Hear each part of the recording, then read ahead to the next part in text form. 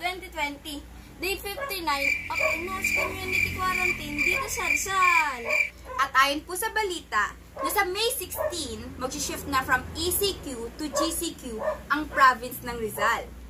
At dahil dyan, magluluto po tayo ngayon ng maruya. sa paggawa po ng maruya, kakailanganin natin ng saging na saba, Asukal, pwede pang pula o puti. itlog, At harina.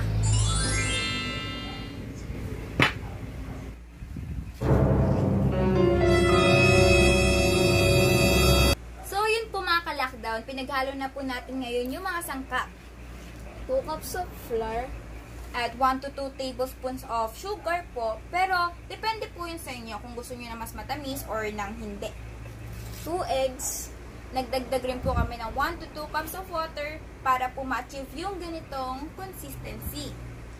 Tip lang po mga ka-lockdown. Haluin po natin ng mabuti ang ingredients para mawala ang mga lumps ng ating butter. So, yun po guys. Tapos na natin haluin yung mga sangkap para sa ating butter. At magko-continue na po tayo sa pag-slice ng ating saging na saba. Yun po mga ka-lockdown, mag-iwa na po tayo ngayon ng saging na saba at pwede na natin po siyang hatiin into 2 to 3 slices pahaba. Tip lang po sa mga kids na kagaya ko.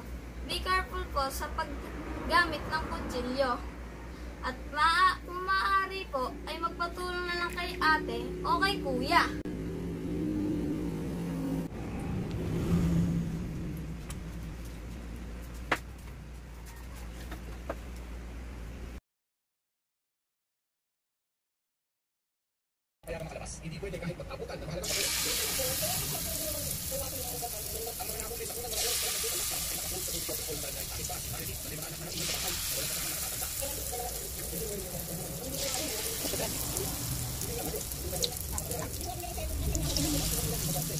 ate o kay kuya.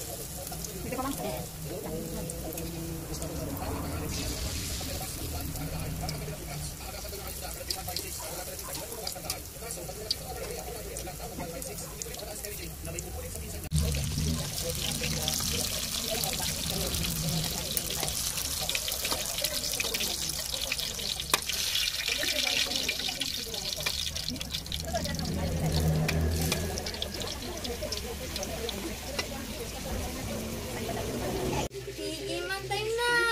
Yay! At guys, ano, nyo po, nilagyan namin siya ng sugar pang coat kasi mas gusto namin ng matamis. Oh, ang sarap! Napalitan niyo guys! Gayaan nyo na!